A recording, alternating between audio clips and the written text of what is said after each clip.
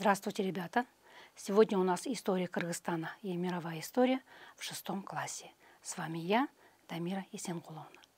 Тема нашего урока – распространение исламской цивилизации в Центральной Азии. Итак, ребята, сегодня вы на уроке узнаете о развитии культуры Центральной Азии в VII-XII веках. Вы получите информацию о возникновении ислама, о завоеваниях арабов, о том, как складывалось общемусульманское культурное пространство, о том, как средневековая Центральная Азия стала центром просвещения. Также вы получите небольшую информацию о центральноазиатских ученых, мыслителях и философах. И, естественно, мы с вами поговорим о значении исламской цивилизации. Для начала, ребята, давайте вы познакомитесь с новыми для вас понятиями. Ислам – религия, возникшая в VII веке на Аравийском полуострове. Основателем религии был пророк Мухаммед. Джихад – борьба за веру. Позже это распространение ислама путем захватнических походов. Мусульманское возрождение – Ренессанс, период с 8 по 13 века, когда исламская культура вобрала в себя достижения ученых разных национальностей. Она развивала знания египтян, греков, римлян и подготовила почву для возрождения в Европе. Теология – наука, изучающая историю возникновения вероучения. Культура Центральной Азии занимает важное место в истории всемирной цивилизации и мировой культуры. Древняя культура Бактрии, Маргианы, Согда, Парфи, Ферганы, Хорезма и сегодня удивляет мир. Культура Центральной Азии гармонически сочетает в себе элементы культуры Запада и Востока, что придает ей особое своеобразие и индивидуальность. Одна из особенностей культуры Центральной Азии состоит в том, что у региона удобное географическое положение. Она граничит с тремя такими великими цивилизациями Востока, как Месопотамия, Индия и Китай. И кроме того, имела связи с Грецией и Римом, древнейшими западными цивилизациями. Центральная Азия выполняла роль посредника между Западом и Востоком, роль моста в международной торговле и культурном обмене между ними, обмене культурными богатствами, то есть это знания, религиозные идеи, открытие, художественные произведения. В частности, через территорию Центральной Азии буддизм распространился по всему миру, а элементы эллинистической культуры появились в Индии и в Китае. Великая посредническая миссия центральноазиатской культуры привела к обновлению культурных ценностей, усвоению элементов других культур, хотя традиции здесь занимали прочное место. Мальчики и девочки, давайте посмотрим, как происходило распространение исламской цивилизации в Центральной Азии. Усиление арабов. Развал Тюркской империи обусловил начало борьбы между Китаем и арабами за Центральную Азию. В начале VII века на Аравийском полуострове возникает новая религия – ислам. Ее основатель Мухаммед объединил под идеологией ислама разрозненные, враждующие между собой арабские племена. После смерти Мухаммеда его последователи стали создавать в мусульманском обществе вооруженные подразделения, которые в целях распространения ислама начали проводить захватническую политику завоевательные походы арабов. Объединенные арабские племена под лозунгом распространения ислама, джихада, стали захватывать земли за пределами Аравии. Прежде чем арабы достигли границ Центральной Азии, они вступили в сражение в Харасане с армиями сильнейших в то время империй Византии, Сасанитского Ирана и одержали победу. После этого арабы вторглись в Харасан, Бактрию, Харазм и Согд. Арабы стояли лицом к лицу с армиями тюрков и персов, а также сражались с архонскими тюрками и тюргешами. Так лицом к лицу встретились арабы и тюрки, прославившиеся как завоеватели. Чтобы покорить Харасан и Маверенахр, арабам потребовалось 60 лет. Тому, что война затянулась так надолго, было ряд причин. Первое – это народы Центральной Азии оказывали сильное сопротивление арабским захватчикам. Второе. По сравнению с тюрками, государственный аппарат арабов был намного слабее. В арабском мире политическое положение не отличалось стабильностью, борьба за власть между племенами и соперниками носила ожесточенный характер. Это была третья причина. Приход ислама в Центральную Азию, битва у реки Талас в 751 году между халифатом аббасидов и Китайской империей Тан для контроля над Центральной Азией была поворотным моментом. Победа арабов в этой битве стала началом массового распространения ислама в регион. Центральная Азия повернулась лицом к исламу и превратилась в мусульманскую провинцию арабского халифата. Завоевательная кампания арабов остановилась, когда они достигли, достигли рек Инд и Окс. Большинство тюркских ханств были обращены в ислам в X веке. Исламизация региона оказала глубокое влияние на местные культуры в регионе, сформировав их как часть исламской цивилизации. В тот период арабский халифат был сильнейшей империей. При желании халифат мог продолжать завоевательные походы. Однако в самой Аравии сильно обострились внутренние проблемы, усилились распри, за власть и богатство внутри правящей верхушки. Многие правители предпочитали наслаждаться богатством, чем продолжать войну. Богатство казалось им нескончаемым, а новые войны – ненужными. Так ислам теряет свой агрессивный характер. Прекращение Аравии захватнических войн и переход к мирному развитию имели огромное значение. Именно это стало фактором усиленного притяжения масс людей к исламу. Арабы, покорившие Центральную Азию в первой половине VIII века, называли регион Мавринахром. Переводится то, что за рекой. Как отмечается в исторических источниках, арабы разграбили бесценные материальные и духовные богатства, созданные местным населением в течение многих веков, разрушили многие исторические памятники, сожгли книги и рукописи, написанные местным письмом, сравняли с землей буддийские и зороастрийские храмы и священные места. Как писал Беруни в своем произведении «Памятники минувших поколений», арабы убили местных представителей духовенства – искусства, литературы, ученых, сожгли их произведения. Затем они уничтожили исторические документы. Особенно большим разрушением подверглись Согд и Хорезм. Все, что противоречило мусульманской религии, уничтожалось ими. Вместо этого они возводили мечети и медресе, мавзолеи и распространяли среди населения ислам. Ислам преподнес миру величайшую цивилизацию, так как она в основе своей опиралась на неприходящие ценности, созданные человеческим сообществом, культуру и лучшие традиции греческого и иранского народов. Новая культура привнесла много нового в традицию и нравы, быт тюрков. Арабская письменность сменила тюркскую. Постепенно стало угасать тигрианство и исчезать воинственность духа тюрков. С принятием ислама тюрки превратились в защитников арабского мира. В мусульманском возрождении особую роль сыграли правители династии аббасидов, которая покровительствовала развитию науки и искусств. Гарун ар-Рашид 786-809 годы – это время его правления, а затем его сын Мамун собрали всех ученых в столице халифата в городе Багдад, где была создана Багдадская академия Байту Хикма.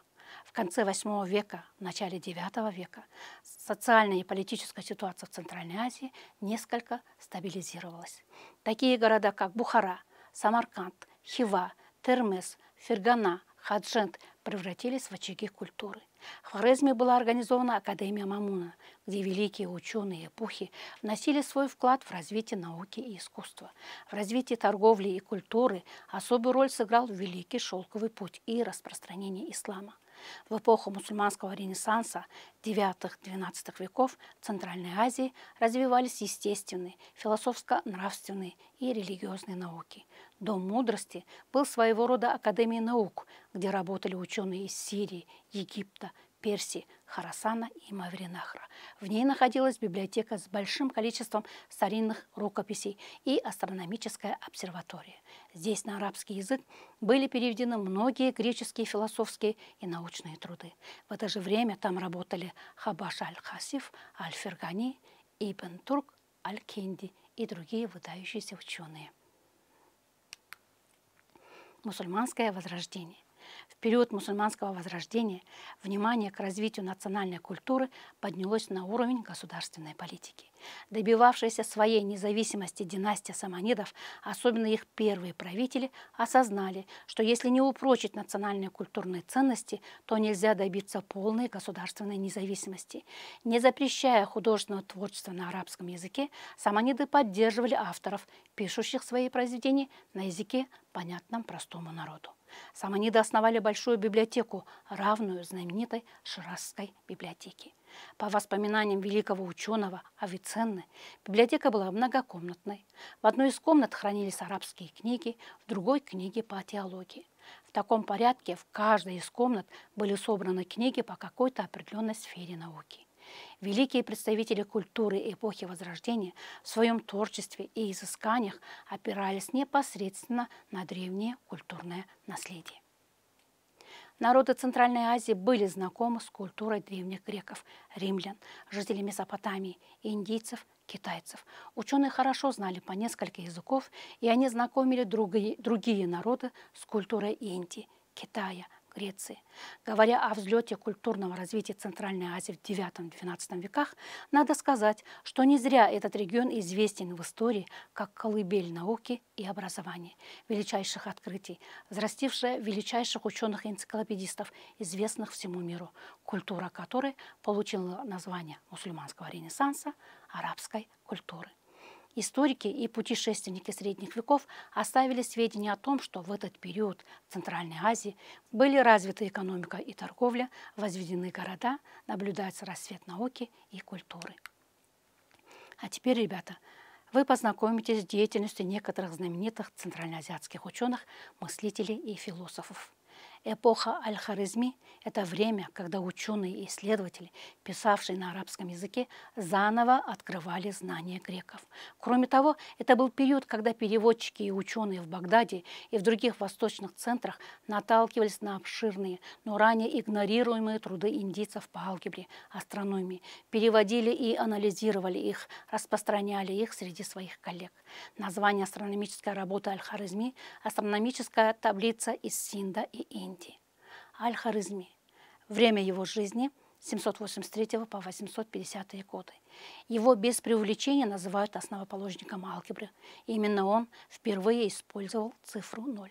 Труды Аль-Харизми сыграли важную роль в становлении науки эпохи Возрождения в Европе и оказали плодотворное влияние на развитие средневековой научной мысли в странах Востока и Запада. В области географии Аль-Харизми написал книгу «Книга «Картина Земли», в которой он уточнил некоторые взгляды Птолемея. Книга включала описание мира, карту и список координат важнейших мест. Для составления карты известного мира Аль-Харизми изучил работы 70 географов. Аль-Харизми в своих трудах рассказывает о календарях, расчетах истинного положения планет, расчетах затмения, составлении астрономических таблиц, определении видимости Луны. В основу его работ по астрономии легли труды индийских астрономов. Он осуществил доскональные расчеты позиции Солнца, Луны и планет, солнечных затмений. Астрономические таблицы Аль-Харизми были переведены на европейские, а позднее китайские языки. По заказу халифа Аль-Мамуна Аль-Харизми работал над созданием инструментов для измерения объема и длины окружности Земли. В 827 году в пустыне Синджар Аль-Харизми принимал участие в измерении длины градуса дуги земного меридиана с целью уточнить величину окружности Земли – найденную в древности. Измерения, сделанные в пустыне Синджар, оставались непревзойденными по точности на протяжении 700 лет. Примерно в 830 году Аль-Харизми создал первый известный арабский трактат по алгебре. Аделард Бацкий, английский философ, начинал свою карьеру как типичный средневековый ученый, который изучает старинные тексты – но когда он понял, что у ученых, пишущих на арабском языке, можно почерпнуть новые идеи, он стал путешествовать. Путь сначала привел его во Францию и Италию, а затем в Антиохию и другие города Восточного Средиземноморья. Он вернулся с копией книги Аль-Харизми по арифметике и укороченной версии его астрономических таблиц, которые были сделаны одним арабом в Испании. Он перевел их на латинский язык. Они стали классикой в Англии и на континенте. За книгой Аль-Харизми по математике закрепилось звание основного учебника в этой области вплоть до XVI века. Ибн Сина, на Западе больше известный как Авиценна, 980-1037 годы жизни. Великий ученый, энциклопедист Средневекового Востока, преуспевший в 12 науках. Пожалуй, нет ни одного ученого или целителя древности, который оказал столь сильное влияние на науку врачевания. В своем труде энциклопедического характера «Канон врачебной науки» Ибн Сина предположил, что заболевания могут вызываться какими-то мельчайшими существами. Он первый обратил внимание на заразность оспы, определил различия между холерой и чумой, описал проказу, отделив ее от других болезней, изучил ряд других заболеваний. Из 2600 лекарственных средств, описанных в каноне, 1400 растительного происхождения. Автор дает описание болезней и лечения сердца, уха, желудка, зубов. Кроме этого, он писал о проблемах гигиены. Спустя 500 лет его труды изучали и цитировали Леонардо да Винчи и другие светила науки. Канон использовался в Брюссельском университете до 1909 года. Альберуни 973 по 1048 годы. По другим данным, по 1050 годы. Среднеазиатский ученый-энциклопедист Альберуни родился в предместье Кят, столице Хорезма. Возглавлял академию, объединявшую выдающихся среднеазиатских ученых. В 1017 году был увезен султаном Махмудом Газневи, завоевавшим Хорезм, в Газни, где оставался до конца жизни. Аль-Бируни писал свои сочинения на арабском языке. Сочинения Аль-Бируни посвящены математике, астрономии, физике, ботанике, географии, общей геологии, минералогии, этнографии, истории и хронологии. Впервые на Среднем Востоке Беруни высказал мнение о возможности движения Земли вокруг Солнца и вокруг своей оси, определил длину окружности Земли. Аль-Беруни высказывал идею о существовании сил тяготения.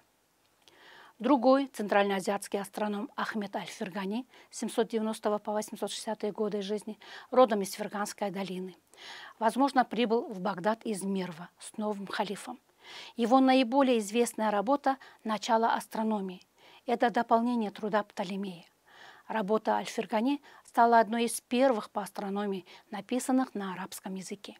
Ее величайшим преимуществом была ясность, и в результате книга вызвала огромный интерес на Западе, где Аль-Фергани был больше известен как Аль-Фраганус, стал наиболее широко читаемым арабским астрономом. Среди его читателей был и Христофор Колумб. Он научно обосновал, что форма Земли – шар. Математически доказал существование самого короткого и самого длинного дней в году. Установил, что на Солнце есть пятна и предсказал солнечное затмение 832 года. В течение долгих 700 лет труды Альфергани использовались учеными в качестве энциклопедий и научных пособий. Хабаш Аль-Марвази из Мерва – переехал в Багдад в свете халифа Аль-Мамуна в 819 году. В Багдаде он присоединился к другим астрономам, служившим в обсерватории, которую Аль-Мамун основал по образу обсерватории в Мерве. Через 10 лет после прибытия в Багдад Хабаш впервые использовал затмение, чтобы создать средства, показывающие точное время в зависимости от высоты Солнца. Он разработал сферическую астролябию, рассчитал окружность Земли как равную 32 444 километра. Радиус как 5152 километра и диаметр как 10 327 километров. При, при этом, сравнивая с сегодняшними данными, мы понимаем, что он ошибался ненамного. Профессиональные достижения Хабаш и Аль-Фергани свидетельствуют о судьбоносной роли выходцев из Центральной Азии в том, что часто называют арабской математикой и астрономией в эпоху аббасидов. Аль-Фараби. Ряд социально-этических трактатов Аль-Фараби посвящены учению об общественной жизни. Это и такие его труды, как «Трактат о взглядах жителей добродетельного города», «Книга о достижениях счастья», «Указание путей счастья», «Гражданская политика», «Книга о войне и мирной жизни», «Книга изучения общества», о добродетельных нравах. Опираясь на политические и этические идеи греческих философов, прежде всего Платона и Аристотеля, и используя социальные идеи Древнего Востока, Аль-Фараби разработал стройную теорию общественного устройства. Он считал, что во главе добродетельных городов должны находиться правители-философы, выступающие одновременно и в роли предводителя религиозной общины. В добродетельных городах стремятся к достижению истинного счастья для всех жителей, господствует добро и справедливость, осуждается несправедливость и зло. Добродетельным городам Фараби противопоставляет невежественные города, правители и жители которых не имеют представления об истинном счастье и не стремятся к нему, а уделяют внимание только телесному здоровью, наслаждениям и богатству. Таким образом, арабы ввели тюрков в свою религию, культурную цивилизацию, что коренным образом изменило дальнейший путь их развития. Медицина накапливала необходимые знания. Врачи наблюдали за симптомами, учили ставить диагноз. Ученые разрабатывали рекомендации по соблюдению личной гигиены, призывали соблюдать умеренность в питании. А теперь, ребята, давайте обратим внимание на значение исламской цивилизации. Значение исламской цивилизации в том, что именно здесь впервые были созданы первые аптеки, больницы. Впервые узнали средства обезболивания, а, впервые стали делать операции по удалению аппендикса. Изобрели эликсиры и сиропы для лечения болезней. Стали активно заниматься переводом древнегреческих книг. Использовали индийские цифры. Создали обсерватории, больницы, дома мудрости. Большое внимание стали уделять составлению карт написании исторических и философских трудов возникло школьное образование.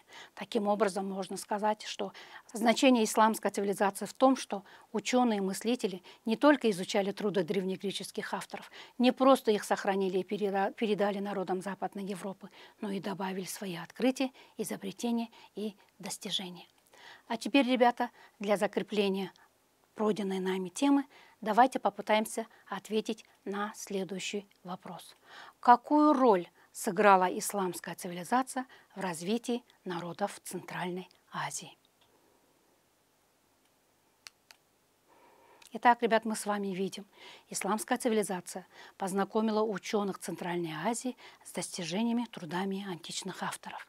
Ученые Центральной Азии, так же, как и другие ученые Востока, внесли большой вклад в дальнейшее развитие науки и культуры установление относительного мира содействовало развитию хозяйства, укреплению и расширению культурных связей. На этом, ребята, мы с вами заканчиваем наш сегодняшний урок. Спасибо за внимание. До свидания.